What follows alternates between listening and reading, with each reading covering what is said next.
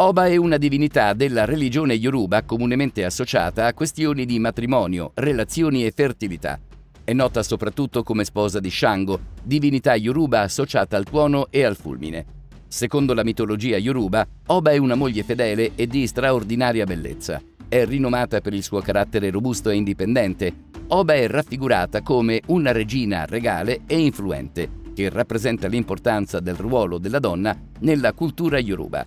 Oba rappresenta un amore intenso, capace di resistere alle avversità e di sacrificare tutto per il bene della persona amata.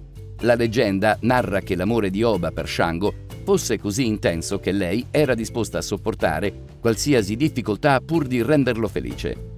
Tradizionalmente viene raffigurata con un orecchio tagliato, a simboleggiare la sua tragica storia d'amore e il sacrificio con Shango. Nonostante il dolore, Oba incarna la resilienza, dimostrando la capacità di superare le difficoltà e di persistere di fronte alle avversità.